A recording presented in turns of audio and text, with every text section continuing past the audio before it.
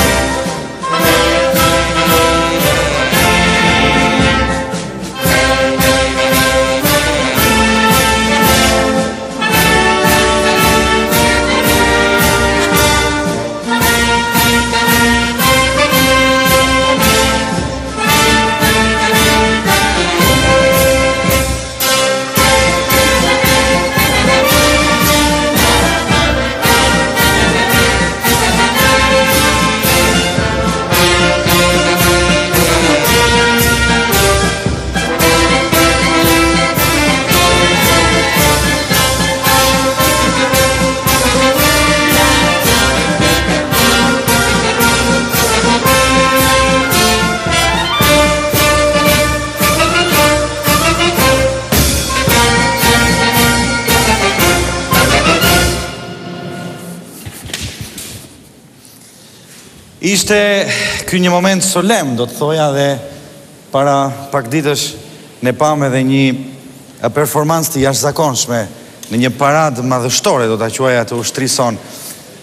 Jemi në njëqindvjetorin e krijimit të ushtrisë.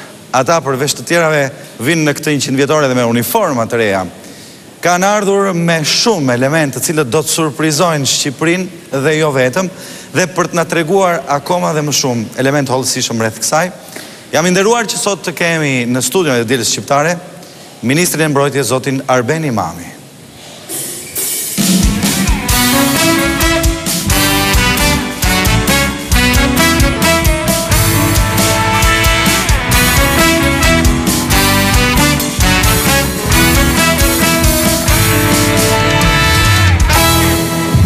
Zoti Ministër, urdhëroni, zakonisht ne tek E Diela Shqiptare, kemi një publik i cili duartroket, ngrihet në këmbë, por meqenëse sot na ka nderuar edhe përfaqësi e trupave, forcave të ndryshme që ka ushtria jonë, nuk kemi duartrokitjet që jemi mësuar që të presim miqtë, kështu që më lejoni që këtë duartrokitje ta jap unë, edhe pse i vetëm. Faleminderit. Ne pamë një paradë ashtu siç unë e thashë edhe më parë, fantastike, me rastin e njëqind vjetorit të pavarësisë. A ishte kjo, le të themi, versioni i një parakalimi të një ushtrie të NATO-s? Besoj që ishte parada më e mirë që kemi bërë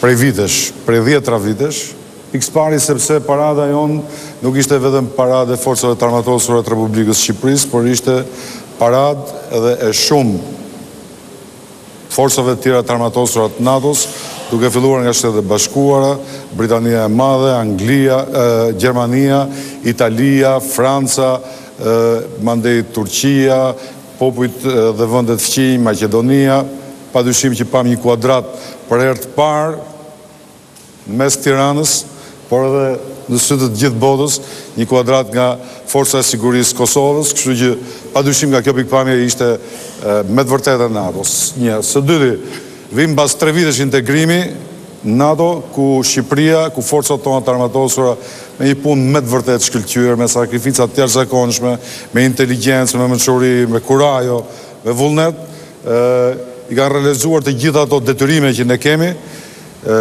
Sot jemi një nga forcat serioze të NATO-s.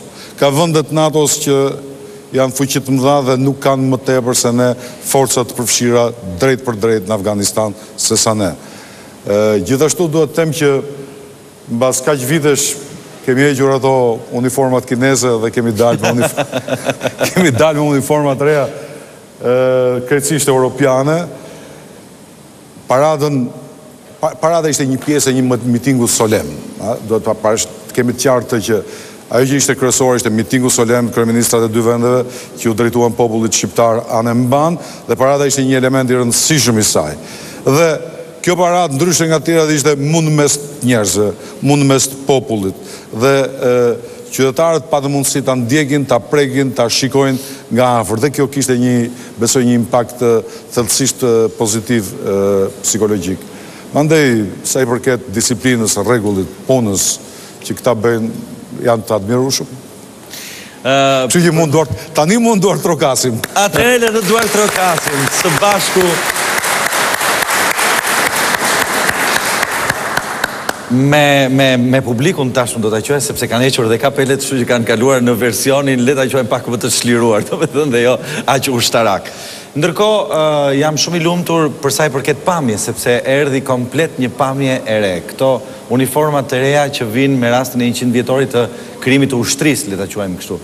Di që edhe personalisht jeni kujdesur fort për këto uniforma. Jam kujdesur, dua të them edhe një gjë të rëndësishme. Po. Nuk bëmë një Paradë me armë. U përpoqëm të tregojmë një ushtri në radhë të parë për rregullin, për disiplinën, për atë që përfaqëson thelbësisht, pa i mshuar në mënyrë të veçantë aspektit luftarak, madje edhe ajo teknikë që treguam ishte e gjitha lidhur me emergjencat. Gjithçka që pamë i shërbente vetëm emergjencave dhe populli shqiptar e ka parë se Ushtria ka qenë më pranë tij se kushdo tjetër në dy tre emergjencat e fundit. Besoj që besoj që ishte më e mira që mund të bënim edhe që bëmë.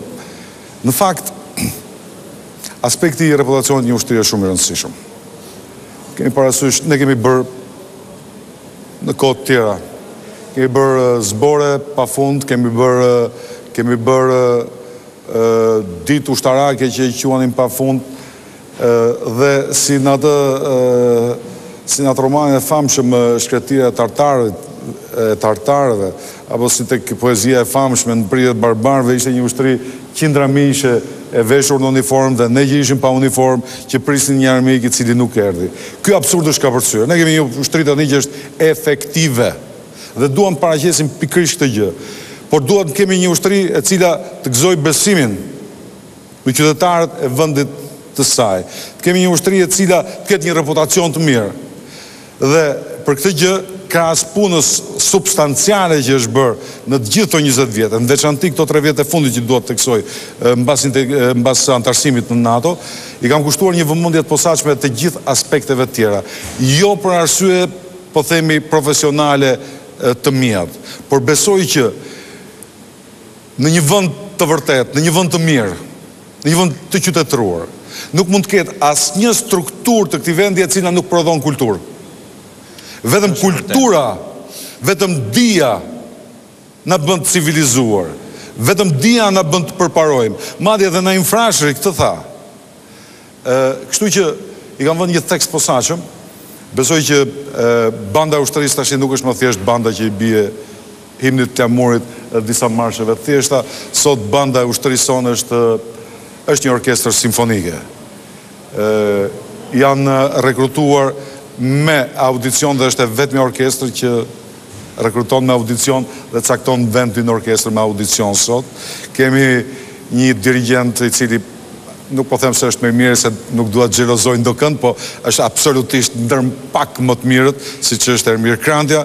Kemi një udhëheqës në Shtëpinë Qendrore, të cilën e kam krejtësisht rinovuar, ristrukturuar që t'i shërbejë imazhit publik të kësaj ushtrie, siç është Vaso Tole që është një akademik. Kemi punuar në të gjitha fushat, në të gjitha elementët me me me me me kam harxhuar shumë kohë. Por Kur një ushtri ka mundësi që përtej misioneve, përtej emergjencave, përtej qindra mijëra, dhjetëra mijëra, gati njëqind mijë tonelata municione të tepërta t'i shkatërrojë, të luftojë me to, në sakrificë, siç kemi qenë edhe sot, që kemi bërë shpërthimin e fundit, mund të mendojë edhe për detajet, kjo tregon që ka fuqi, kjo tregon që ka inteligjencë, kjo tregon që i realizon detyrat e saj dhe mund të bëjë diçka përtej saj. Kështu që kemi punuar jo vetëm me veshjet shumë, kemi punuar me flamujt i kemi rinovuar krejtësisht, kemi rinovuar simbolet e ushtrisë, kemi rinovuar shenjat që kanë në krah këto ashtu sikurse jemi përpjekur të bëjmë edhe punë të tjera, pikërisht që pahu, le të përdorim fjalën e bukur të vjetër shqiptare, pahu publik i kësaj ushtrie të jetë edhe shqiptar, edhe modern, edhe europian, edhe i NATO-s. Unë do doja që për një moment të të bënim një prezantim të shpejtë të uniformave duke filluar nga uniforma e parë e cila është uniforma ceremoniale e Forcës Tokësore që është pikërisht Është dashur gati një periudhë tetë mujore ku janë përgatitur mbi njëzet propozime dhe variante deri në arritjen e opsionit final. Dizenjimi i gradave është totalisht i ri, duke ikur modelit të vjetër të gradave të oficerëve që ishin shumë të ngjashme me gradat e një vendi tjetër ballkanik, ndërsa gradat e reja janë dizenjuar mbi bazën e elementëve kombëtarë. Ndërsa, uniforma e dytë është uniforma Dua të ndaloj pak te uniforma e parë, sepse uniforma e parë është, besoj, ajo që kryen edhe po themi revolucionin e vogël në këtë fushë për ne. Ë kemi parë sidomos mbas Luftës së Dytë Botërore edhe për vështirësi ekonomike, por edhe për afinitete ideologjike, uniformat tona iu kanë ngjarë shpesh uniformave të vendeve me të cilat kemi qenë në aleancë, aq sa pastaj në vitet gjashtëdhjetë kur u hoqën përfundimisht edhe gradat, nuk mund të dalloje ushtria është hierarki. Është komandë. Nuk mund të dalloje dot ushtarin nga, po themi, komandanti i një force. Dhe me thënë të drejtën edhe estetikisht ajo jeshilja që kemi mbajtur në shpinë ne ka qenë e papranueshme, e padurueshme. Sigurisht që kemi pasur shumë diskutim për, e vetmja uniformë që kemi pas një diskutim të gjatë dhe serioz, uniformat i ka bërë një kompani shumë serioze franceze, që ka fituar me kompeticion ndaj një gjermane dhe një italiane këtu në Shqipëri, por që i prodhon edhe për Francën edhe për ish-kolonitë e Francës, me të vërtetë uniforma edhe kanë kryesisht atë pah, atë dukje. Dhe vendosëm të shkojmë drejt një grie, në mënyrë që të shkëputeshim nga kjo traditë e jona, Megjithatë, është një ngjyrë e posaçme, që është gri me një refleks të gjelbrës, për ta mbajtur lidhjen me traditën, gjithsesi, dhe për të mos dalë tek një gri e ftohtë, siç është, po themi, uniforma gjermane dhe pjesërisht ajo italiane. Besoj që ky është suksesi jonë. Oficeri që del kështu në rrugë, Ditën që veshi shefi i shtabit uniformën, po bënim provat e paradës dhe bëjmë pesë minuta pushim për të pirë një kafe te pesëmbëdhjetkatëshi. Futemi te pesëmbëdhjetkatëshi dhe takojmë disa miq të vjetër. Edhe më flet mua, në fakt Ram Geci ishte, më tha mua, Zoti Ministër si jeni, keni ardhur për kafe, po faleminderit. Edhe desh me e kalu shefin e shtabit se tha me, me siguri që Beni Imami paska ardhur me ndonjë gjeneral, ndonjë anglez, ndonjë italian apo diçka e tillë, nuk e njohu personalisht. Ë, dua të them që është një pamje krejt tjetër dhe besoj që u pranua, sigurisht që kemi pasur dhe ngurrimet tona kur kemi marrë këto vendime bashkë me shefin e shtabit dhe zëvendësat e tij gati dy vite më parë, por besoj që kjo u pranua nga publiku i gjerë dhe është një sukses tashmë për ne. Vijoj me uniformën e punës së Forcës Tokësore, ndërkohë uniformë kamuflazh krejt tjre. Ashtu si dhe uniforma ceremoniale, uniforma e punës ka të njëjtat parametra. Ndërsa uniforma e tretë është uniforma ceremoniale e Forcës Ajrore. Për ngjyrën është respektuar ngjyra tradicionale e Forcave Ajrore në të gjithë vendet anëtare të NATO-s, këmisha e uniformës ceremoniale është me ngjyrë të bardhë. Duke vijuar me uniformën e pilotit të Forcës Ajrore, ashtu si dhe uniforma ceremoniale, uniforma e pilotit Ka të njëjtat parametra, por mbi të gjitha është teknologjia e prodhimit, të rezistencës dhe qëndrueshmërisë së materialit. Uniforma tjetër është uniforma ceremoniale e Forcës Detare. Për përcaktimin e ngjyrës është respektuar trendi i ngjyrave të forcave detare të vendeve të NATO-s. Uniforma tjetër është uniforma e punës së Forcës Detare. Ashtu si dhe uniforma ceremoniale, ka të njëjtat parametra, kjo është dhe uniforma e stërvitjes. Uniforma e mëpasme vjen nga stërvitja e multikamuflazh i Forcave Speciale të Ushtrisë. Kjo uniformë unike në të gjithë botën është totalisht një koncept i ri i dizajnit. Uniforma e parafundit është uniforma e stërvitjes kamuflazh i Batalionit të Këmbësorisë Motorizuar. Unike në të gjithë botën, kjo uniformë i përket konceptit dy në një. Dhe e fundit është uniforma e Policisë Ushtarake. Kjo uniformë, edhe pse nuk ka shumë ndryshime, por. Gradat duken që janë ndryshuar goxha dhe dekoracioni i kësaj uniforme. Nuk ka ndryshuar nuk ka ndryshuar ngjyra, por dizajni është relativisht i ri. Dua të them që për uniformën e kamuflazhit, E treta nga fundi. Po, me një grup, po themi, piktorësh dhe studiuesish të fushës, u bënë disa fotografi të mjedisit shqiptar, të natyrës shqiptare. Ah. Po. Dhe pastaj nga fotografitë e një peisazhi shqiptar u ekstrapoluan, u abstraktuan ngjyrat bazë dhe mbi atë foto po themi bazë u ndërtuan edhe elementet. Kështu që me të vërtetë është unike për sa i përket dizajnit të ngjyrës edhe të atyre elementëve që ajo ka, sado që janë të thjeshtë. Nuk mund të ngatërrohet me një uniformë të çfarëdo vendi tjetër. Mrekulli! Ne do të kalojmë vetëm pak momente në një hapësirë publicitare dhe do të rikthehemi në pjesën e fundit E diela Shqiptare për të vijuar me disa risi të tjera që vijnë në këtë njëqind vjetor të ushtrisë sonë. Publicitet.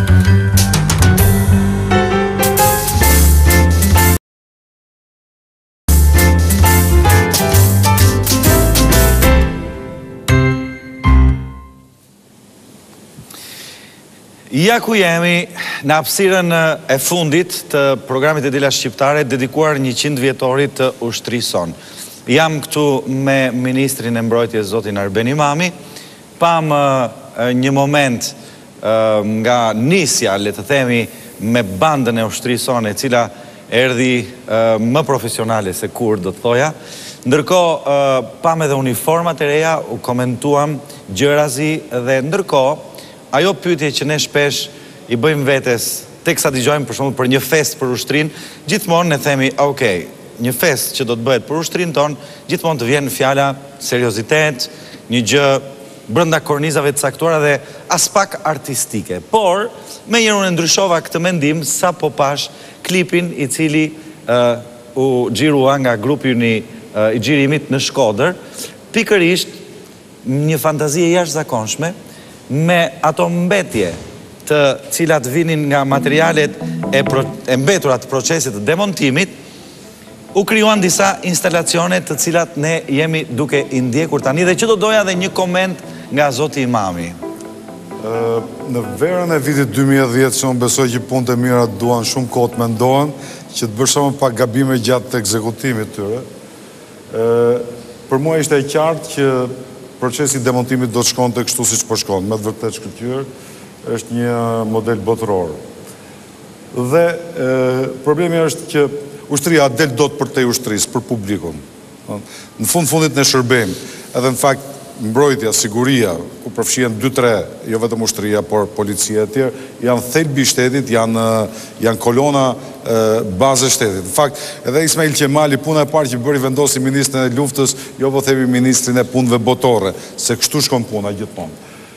Pra duke pasur të qartë këtë që do të vinim patjetër tek mbyllja me sukses e këtij projekti të madh, do të dëshironim të bënim diçka më tepër për publikun, megjithëse në fakt edhe shkatërrimi i përket pikërisht sigurisë së publikut. Dhe me një grup artistësh shqiptarë, pedagogë të Universitetit të Arteve, Diskutova gjatë me ta dhe ftuam edhe një grup profesorësh artistë të Universitetit të Pensilvanisë, të cilët i shëtitëm nëpër Shqipëri, i dhamë mundësinë të shohin disa nga qytetet tona edhe disa nga idetë tona, po ashtu të, është me të vërtetë e bukur, natën është me të vërtetë e bukur është, dhe njëkohësisht i çuam edhe aty ku demontohen për të parë produktet. Dhe shumë shpejt na erdhën propozimet konkrete. Një nga këto propozime ishte kjo që po e quajmë, e quajtëm lulja e dritës. Pikërisht me fundet e predhave të mortajës, nuk e di tashi 82 a 120, ë ndërtohet një, po themi një glob, i cili lexohet si një azhur, lexohet si një qëndismë e gjysheve tona, edhe njëkohësisht me të njëjtin material është bërë edhe ky pavijon, që është quajtur pavijon dashurie për shkak se i du, domethënë donim diçka që është jashtë luftës, destinacione, po themi, romantike. Këtu këtu shërbejnë të rinjve për tjetër gjë. Ne na shërbyen këto për tjetër gjë, këtu shërbejnë. Dhe kryetari i bashkisë e ka vendosur aty dhe do të bëjë ceremonitë e e lidhjes së martesave. Mandej, mbasi u konsultuam për vendin me këta pedagogët dhe artistët shqiptarë, menduam që t'i ngremë në këtë grup dhe që të jetë një destinacion për një qytet aq të bukur siç është qyteti i Shkodrës, të cilit edhe ju, për të cilin edhe ju mund të punoni më shumë, për ta treguar se sa mirë është punuar dhe sa bukur punohet. Përveç këtyre kemi edhe disa elementë të tjerë në punë. Kam një kërkesë nga një kryetar bashkie i një qyteti të vjetër prapë, sepse është shumë bukur kur kontrastojnë vepra të tilla të cilat kanë karakter, po themi, të ditës, përkundrejt një Një peizazhi me ngarkesa historike. Do të shkojë shumë mirë. Ka shumë shembuj të tillë plot, megjithëse mund të ketë ndonjëherë edhe ndonjë kritikë. Shembulli më perfekt i kësaj, sigurisht që kjo është shumë larg, është, po të themi, piramida në mes të sheshit Luvrit. Eksperimente të tilla janë bërë.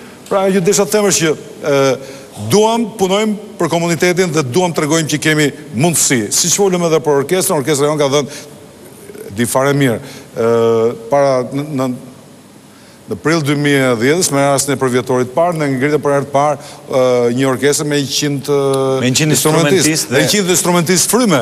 Eksakt. Ëh, njëqind instrumentistë fryme. Është, ishte një përpjekje gjigande, falë ndihmës të të shumë, shumë ë, bashkëpun, bashkëpunëtorëve që iu afruan Ministrisë nga fusha e artit dhe e muzikës, përfshi Zhani Cikun, përfshi ë, ë, Zana Turkun e shumë, e shumë të tjerë. Ke, Artan Peqini ka prodhuar një vepër të cilën po mendojmë që ndofta ta një gjethe të madhe të prodhuar po nga i tillë material, po mendojmë që ndofta ta instalojmë në Muzeun e Ushtrisë, meqenëse kemi një pavion aty për pesëdhjetë vitet e nga dyzet e pesa e më mbrapa, por që faktikisht nga gjithë ai armatim e vetmja gjë që vlen sot, përveç kujtimeve, sepse kujtimet, Edhe kur janë të një kohe të keqe janë pjesë e jetës tënde. Ashtu si nganjëherë ne kemi qenë në punë të detyruar, siç ishin aksionet, kemi qenë në zbore të vështira, por kujtojmë ato çaste humane, njerëzore, të rinisë sonë ato dhe pa dyshim kemi nostalgji për jetën tonë, për rininë tonë, për miqësinë dhe për ato vlera njerëzore që pavarësisht diktaturave apo çfarëdo zhvillohen. Po mendojmë ta fusim në muzeun e ri të Forcave të Armatosura. Do të flasim pak më vonë, por unë, meqenëse jam i prirur nga jeta koncertore, nga koncertet, dhe nuk mund të rri pa ngacmuar pak në këtë prizëm... Unë ta kam thënë Ardit, në qoftë se do të bësh një koncert që të mbahesh mend, dhe ta kam thënë që para një viti, hajde, ke bandën e ushtrisë dhe mund të sigurojmë çfarëdo, çfarëdo tjetër, çfarëdo lloj kapaciteti tjetër, për të bërë një koncert i cili të mbetet... Të mbetet, edhe, edhe për karrierën tënde të shkëlqyeshme. Shumë faleminderit. Dhe, dhe unë po ta rinovoj ftesën. faleminderit. Ndërkohë, unë do doja të dija pak më shumë për koncertin e datës katër, që do të bëhet pasnesër. Sepse vjen pas koncertit të madh të hapur që u bë me njëqind instrumentistë, pastaj kishim koncertin tjetër të Epikës Shqiptare, që ishte një koncert i jashtëzakonshëm. Ai, pa dyshim që ishte një nga gjërat monumentale që mbeten në këtë vend. Ëh... Edhe padyshim që edhe karriera ime, jeta ime si artist, edhe si intelektual, modestisht, më ka bërë ta njoh këtë këtë vlerë monumentale të qytetërimit shqiptar, që padyshim është fondamental edhe për qytetërimin europian. Nuk ka dyshim që një pjesë e madhe e Europës së sotme ka kënduar ashtu siç këndojnë lebërit tanë, nuk ka dyshim që Epet e mëdha botërore qoftë edhe të Omerit janë kënduar ashtu në atë varg me të cilin këndohen epet tona dhe desha pikërisht të gjeja mundësinë dhe mënyrën që këto gjëra kaq arkaike që janë vënë në një dritë të keqe shumë bile gjatë kohës së komunizmit si mund të dilnin në pah Dhe kemi harxhuar diçka, nuk se s'kemi harxhuar diçka, po besoj që kemi bërë mirë se kemi treguar që ushtria interesohet edhe përtej asaj që është thjesht, siç thonë anglezët, nga dora tek goja, nga ajo imediatja, nga ajo e domosdoshmja, dhe vetëm kjo mund të na çojë përpara dhe të na bëjë një komb. Besoj që Ky koncert do të jetë një koncert serioz, do të jetë një koncert formal, do të jetë institucional, si të thuash, do të jetë për festimin e njëqindvjetorit dhe nuk është ana eksperimentale nuk peshon mbi aspektet e tjera substanciale, por do të jetë një koncert shumë serioz, ashtu sikurse për mendimin tim ishte një koncert shumë i mirë ai që u dha në datë njëzet e tetë nëntor. Por edhe aty do të kemi surpriza. Pa dyshim. Mezi presim, mezi presim. Ndërkohë, më thonë nga regjia në kufje, më thonë që janë duke na ndjekur shumë teleshikues, të cilët po. në Facebook, në faqen Anabel Media, që ne kemi, na dërgojnë shumë mesazhe. Shumë faleminderit. Dhe ju dërgojnë mesazhet e urimit për njëqindvjetorin, dhe një urim i veçantë vjen nga kampioni i saposhpallur i kikboksit, të botës, Ismail Keta në mëni, i cili i uron zotit ministër dhe forcave tona të ushtrisë, i uron njëqindvjetorin të gëzuar. Shumë faleminderit që na nderon dhe ne. Po. Ndërkohë, do të vijmë në një tjetër moment. Përsëri grupi i xhirimit dhe Dalina, autorja jonë e programit, Buzi, vajti së bashku me ekipin për të parë muzeun, e Forcave të Armatosura që është tek Akademia, tek Shkolla e Bashkuar, siç i themi ne, kështu i ka mbetur. Ashtu është toponimi. Dhe janë surprizuar dhe më thanë është një nga gjërat më të bukura që mund të ketë Shqipëria. Në këto momente jemi duke ndjekur disa pamje të cilat janë xhiruar te ky muze dhe unë do doja më shumë informacion po të na ndihmonit për këtë muze. Ka qenë një dëshirë e përhershme e të gjithë ushtarakëve tanë që një pjesë të jetës së tyre të cilin e kanë jetuar në këtë ushtri dhe të cilin e duan. Është është një sëmundje. Unë që deri para tre vjetësh nuk dëgjoja dot për ushtrinë se mbaja mend ushtrinë e vjetër, nuk më zinte gjumi natën për ushtrinë sot. Kështu që bëhet pathologji. Ë ma kishin kërkuar në vijimësi. Ë E pashë këtë mundësi, duhet të filloj nga ndërtesa. Ndërtesa ishte një ish ndërtesa e kuajve të asaj kazerme që ka qenë kazermë e Xhenios vitet 30. Është ndërtesë italiane dhe nuk është rinovuar vetëm ndërtesa që është pa dyshim hapësira e ekspozimit më e mirë në Shqipëri sot, ta them pa modesti, po lavdi Zotit që e ka ushtria. E vogël, nuk është një hapësirë e stërmadhe, po është padyshim hapësira më e bukur dhe më e përshtatshme për ekspozim.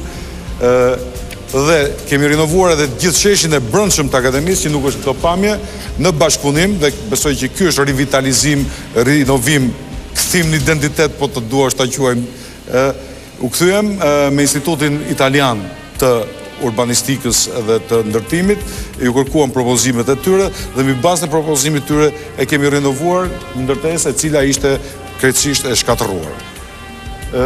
Besoj që ushtria ka kapacitet të bëjë Një muze të mirë të armëve në Shqipëri, sidomos që këto 20 vitet e fundit kanë degjeneruar, për hir të së vërtetës. Një, këto janë topa dhe predha të shekull të mesjetës, mesjetës deri besoj deri nga shekulli 15-16, kur nuk domethënë gjylet ishin gjyle hekuri apo siç janë këto gjyle guri, i kemi marrë në Kalanë e Elbasanit, në bashkëpunim me ata sigurisht, në edhe në Kalanë edhe në Muzeun Arkeologjik të Durrësit. Janë instaluar nga janë instaluar nga dy pedagogë dhe artistë tanë siç është Ardian Isufi dhe Genc Përmeti. Kjo është salla që po themi i përket më tepër këto janë fotografi të shekullit 19 dhe krahas tyre janë dhe armët konkrete që ata burra shqiptarë mbajnë, një sërë, ky është një topuz shumë i vjetër, thonë që është shumë shumë i vjetër dhe këto këto shpata dhe pushkët pisqollat janë shumë të bukura, pisqolla sermi me kuti, besoj që do të bëhet një një njohje më e mirë e tyre në ditët në vazhdim, sepse ende jemi në momentet e fundit të instalimit të tyre, dhe ajo që është e rëndësishme, është bërë përpjekje që ato armë dhe municione që i përkasin sidomos kohëve më të fundit deri në 90-ën, t'i paraqesim në një mënyrë me të vërtetë interesante, besoj janë instalacione të Një grup i madh armësh sa një faqe muri vendosur në kutitë e tyre që tingëllon gati gati si një ikonostas nga nga sikur kur e prek, kur e ndjen, po flas si si si artist. E po kështu edhe ajo ajo aradhe e gjatë helmetash, të cilat e tregojnë në një kuptim edhe absurdin e gjithë asaj ushtrie që u fry, u fry, u fry, u fry dhe nuk Ekzakt, duke iu referuar asaj të cilës ne çka kemi dëgjuar... Se në fakt, në fakt, domethënë, luftë, qoftë se kanë bërë, kanë bërë ata atje. Që unë i duartrokas, përsëri që të më duartrokas, që ka të më kështi të duartrokas... Reshti të reda ty po, ata po. Në fakt, më erdi dhe një pyetje për ta, po ndoshta do t'jetë nga fundi. Ajo që më bën më shumë çudi është sepse ne gjatë gjithë viteve të komunizmit jemi mësuar që çdo ditë të dëgjonim apo të ballafaqoheshim, të na binin gati gati në fytyrë parullat i gjithë populli ushtar. Dhe një muze i tillë nuk ka qenë. Dhe si ka mundësi që nuk investuan për të treguar qoftë një prejardhje apo një forcë, domethënë në lidhje me këtë gjë. Nuk di, është e vështirë të jap përgjigje për këtë gjë. Në fakt, kudo ka pasur muzeume të luftës nacionalçlirimtare. Po. Problemi është që Po nuk ishte një muze i tillë, domethënë ku të thellohej kaq shumë në historinë e këtij vendi. Nëse do të dalim te kjo çështje, duhet të them këtë gjë. Po. Ky nuk është një muzeum historik. Po. Nuk ka muzeume historike përveçse në Moskë. Historia perceptohet nëpërmjet eksponateve që kanë vlera historike. Shko në British Museum, ke sallën e Egjiptit. Nuk të thotë njeri historia e Egjiptit në mënyrë të posaçme. Ti mund të marrësh informacion me kufje ose në tabelat e vogla lidhur me Muzeun e Egjiptit. Por ajo që shikon ti, sheh eksponate, shef varr, shef piktura të kohës. E pra, kuptohet. E pra, edhe për fat keq të gjithë muzeumet tona, përfshi edhe sot e gjithë ditën Muzeumin Kombëtar, janë muzeume historike të tipit, stilit sovjetik krejtësisht. Kanë ato shumë gjëra me vlerë, por koncepti i tyre bosht mbi të cilin ato janë ndërtuar është ky. Ne jemi përpjekur nuk po tregojmë histori. Ne po tregojmë eksponate që kanë një vlerë. Ato që pamë ne, ato gjylet e gurit, ato pushkët e vjetra, shpatat e vjetra, pisqollat e vjetra, të gjitha kanë një vlerë si eksponate në vetvete.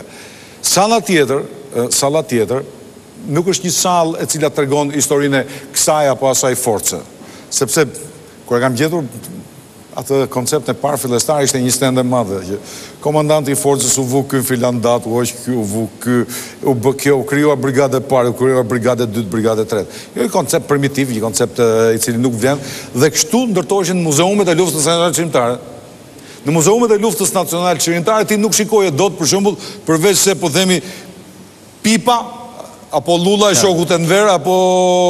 Kapelja. Apo kapelja që pas... Kupton? Kapelja. Qartë. Ne nuk kemi një kapele. Ne kemi vënë njëqind kapele në një instalacion, njëqind pagure në një instalacion.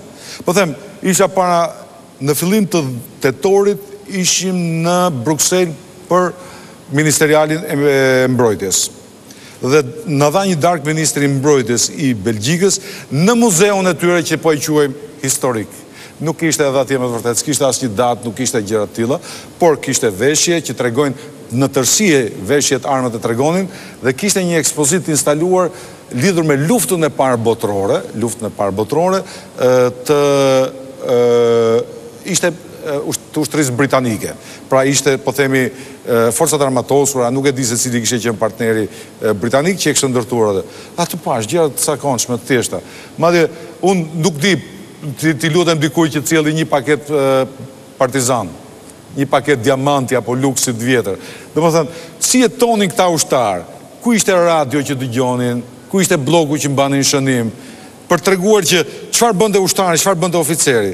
Po përpiqemi do të ngremë një nga ato, një dhomë, do ngremë një ROGL, qoftë se e mban mend ç'do me thënë ROGL, Roje Operative e Gatishmërisë Luftarake. Lavdi Zotit që s'e dinë ca. Po. Edhe unë tash më erdhi kështu, bam, m'u përplas në fytyrë e gjitha. Pra, për të ndërtuar, për Domethënë, imazhi që duhet të vijë, duhet dhe mood-i, ndjesia që duhet të marri vizitori duhet të jetë ku dhe si kanë jetuar dhe me çfarë kanë punuar këta njerëz së bashku. Nuk përbën histori sepse është shumë shpejt, kanë kaluar vetëm njëzet vjet nga fundi i saj, por gjithsesi kanë një vlerë muzeale, kanë edhe një vlerë e cila do t'u shtohet me kohën. Po të merren sot dhe të hidhen mbas pesëdhjetë vjetësh nuk do të kemi çfarë të tregojmë më. Ashtu sikurse në pjesën e jashtme mandej siç kemi organizuar një kopsht i cili është klasik edhe mund ta gjesh si mund ta gjesh një kopsht francez po themi po të shkosh Po të shkosh në lezim valid, për shumë. Edhe kemi vënd sistemet e mdhaja, tanke, autoblinda, aeroplan, këto katrat siluruës, kemi vënd raketa, kemi futu një raket në qëndër të muzeumit, brënda. Po, e pe, pame, pame, pame, pame, pame, ishte impresionuse. Pra, janë instalacionet cilat i bëjnë, mënyra se si ekspozohen, ju rritë edhe emocionin, e kontaktit midis vizitorit edhe objektit. Jemi në dy minutat e fundit të programit dhe do doja vetëm me një fjali pyetjen që më erdhi ndërkohë që ju po flisnit. Ne gjithmonë kemi atë ndjenjën kur jemi përkrah të mëdhenjve, sidomos etj etj, kemi shpesh herë si popull atë ndjenjën e inferioritetit të një vendi të vogël etj etj.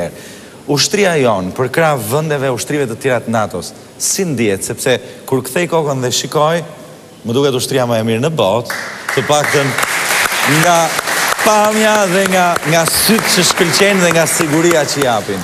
Është Shiko, shqiptarët janë luftëtarë të lindur. Kur u nis, kur u nis kompania e parë e specialeve në Në O, faleminderit. Kur u nis kompania e parë e specialeve në Afganistan, sigurisht që kam qenë në tension të madh sepse ishte për herë të parë që do të dilnin në një në një gjë me të vërtetë delikate, një mision shumë delikat. I kishim bërë pothuajse të gjitha përpjekjet, por kur bën diçka për herë të parë, gjithmonë mund të të mbetet diçka, si të thuash, peng. Por një gjë isha i sigurt, që ushtari shqiptar, Nuk vendos armatimi, nuk vendos teknika, ato kanë një rol të jashtëzakonshëm. Vendos vendimi i drejtë dhe i duhur në kohën më të shpejtë në kushtet konkrete. Kam qenë i sigurt që ushtari shqiptar, në kushtet e tmerrshme të Afganistanit, do të dijë të orientohet dhe të marrë vendimet më të mira. Dhe me të vërtetë kanë shkëlqyer dhe. Që kur ata kanë vajtur atje, Kur shkel në sallën e ministrave të mbrojtjes së vendeve aleate, nuk ndihem më pak se të tjerët. Nuk kam më ndjenjën e modestisë. Po kështu edhe këta ushtarakë, kur luftojnë përkrah të tjerëve dhe nuk janë më pak se të tjerët, sigurisht që nuk e kanë këtë ndjesi. Jam shumë i lumtur unë. Ah, ç'janë këto? A mund ta nxjerrësh pak përpara njërën këtë të madhe të pak. Atëherë, programi jonë i demontimit, Qenka dhe të rënda. Programi jonë i demontimit nis në fakt me këtë vepër të parë. Po. Kjo është vepra e parë të cilën kemi menduar, jemi konsultuar gjerë e gjatë për prodhimin e saj. Dhia, në fakt dhia është Mund ta lexosh edhe jo, dhia është dhia e egër është po themi kafsha tabu e cila nuk hahet në veriun tonë, nuk vritet. Dhia, po nuk është kështu vetëm për veriun, kjo është një kafshë e cila ka pasur këtë vlerë për të gjithë Ballkanin. Mjaft kujtojmë historinë e Amalteas, apo po ta themi shqip dhisë së tamlit, që është e njëjta gjë, që ushqen babain e perëndive Zeusin, dhe dhia padyshim është e vetmja kafshë që shfaqet në eposin tonë që është mijëra vjeçar, dhe në thelb është burim fuqie. Burim fuqie. Kjo është arsyeja që e gjejmë tek Skënderbeu, po Skënderbeu është i fundit, e gjejmë tek Aleksandri i Maqedonisë, e gjejmë tek Pirro i Epirit dhe për këtë vendosëm që të prodhojmë një seri të limituar tridhjetë kopje të kësaj, pesëdhjetë kopje të kësaj, cilat këtë ja meqenëse televizioni klan ka bërë një punë të shkëlqyer edhe sot po e bën këtë për qind vjetorin e ushtrisë t'ia dhurojmë televizionit klan këtë po themi dhinë e tamlit shqiptare faleminderit shumë faleminderit kurse tridhjetë kopje të asaj pesëdhjetë kopje të kësaj të bëra nga një skulptor shqiptar Arben Bajo skulptor i shkëlqyer Dhe dy të tjerat, të cilat janë miniaturë, po themi, po mund të përdoren fare mirë nga dy miqtë e mi, të cilët e bënë të mundur këtë program, Ardit Gjebrea dhe Pali Kuke. Ah, shumë faleminderit! Shumë faleminderit, jam shumë i lumtur. Unë ju falenderoj me mirënjohje që erdhët. Morëm këto informacione, ndamë këto emocione së bashku, sepse prezenca juaj është një siguri, së bashku me këtë publik do ta quaja, të fortë, i cili na mbron dhe na siguron jetën tonë, ndaj ju jam mirënjohës që na jepni këtë siguri dhe që ne të festojmë së bashku njëqind vjetorin e Ushtrisë, pasnesër, Do ta ndjekim me shumë interes gjithë ditën me të gjitha aktivitetet që do të zhvilloni dhe do ta mbyllim përsëri të dielën shqiptare jo me siglën që ne mbyllim çdo të diel, por sigurisht do të vijë banda e ushtrisë që të bëjmë mbylljen e të dielës shqiptare sot. Faleminderit dhe mirupafshim javën që vjen. Faleminderit shumë.